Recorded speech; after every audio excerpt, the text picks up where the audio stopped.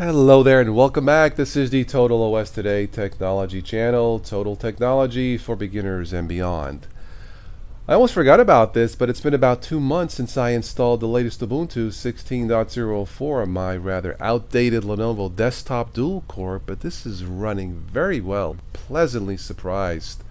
Uh, this seems to be running better in my dual core than my Ubuntu MATE in my quad core gateway. So for whatever reason, at least for me, the latest Ubuntu is a winner. Very, very pleasantly surprised. Usually with Linux over the years, something with multimedia, usually something breaks, it just won't work.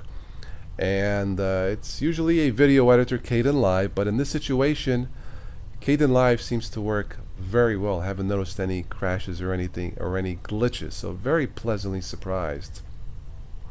All right, a couple updates notices, reminders, vote for the, the June 2016 YouTuber of the month. Uh, not a lot of votes, so please go ahead and you know cast your vote. Each comment will count as a vote. A reminder: it does not necessarily have to be about technology. A former YouTuber of the month, Stephanie Forian. I did a podcast with her talking strictly Mac technology or Apple technology. Stephanie uses only Apple technology to create her terrific music.